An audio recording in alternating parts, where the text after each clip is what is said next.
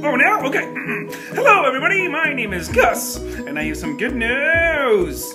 Today I signed up for the Twitter. Yay!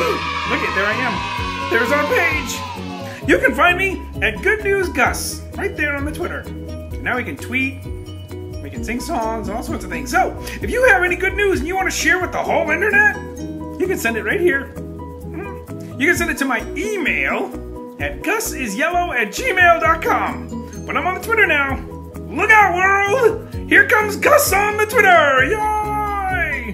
We're tweeting and tweeting.